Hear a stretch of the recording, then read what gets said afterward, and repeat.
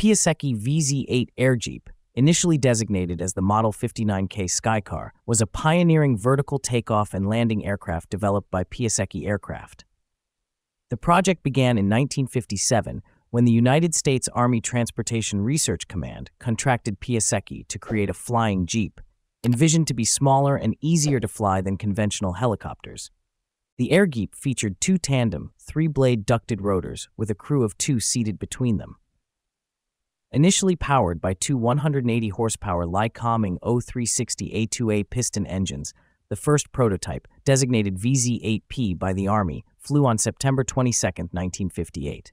The design allowed the aircraft to remain airborne even if one engine failed, ensuring stability and safety. In June 1959, the Airgeep was re-engined with a single 425 horsepower Turbomeca Artouste 2B turboshaft engine, replacing the original piston engines.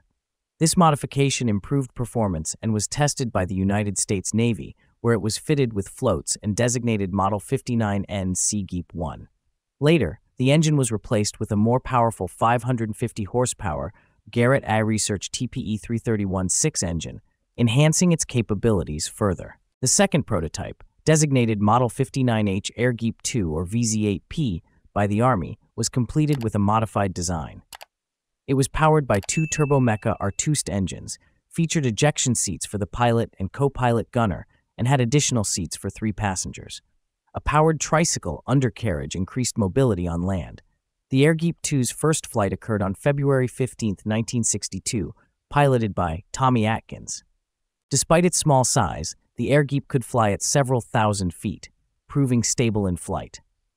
Its low altitude capability allowed it to evade radar detection. The Airgeep 2 had a maximum speed of 136 kilometers per hour and a maximum takeoff weight of 2,177 kilograms. It was designed to operate from small, unprepared landing sites, making it versatile for various terrains. The United States Army evaluated the Airgeep alongside the Chrysler VZ-6 and the Curtiss-Wright VZ7. Although the Airgeep demonstrated superior performance, the Army concluded that the flying Jeep concept was unsuitable for the modern battlefield. The project was abandoned in favor of developing conventional helicopters. The Piasecki VZ-8 Airgeep remains a notable example of early vertical takeoff and landing aircraft design. Although it did not see widespread military use, its development contributed to the advancement of vertical takeoff and landing technology. The concept of a small, versatile flying vehicle continues to inspire modern vertical takeoff and landing projects, highlighting the enduring influence of Piasecki's innovative design. Today, Piasecki Aircraft, now a subsidiary of Boeing, continues to collaborate with the United States military on various aviation projects.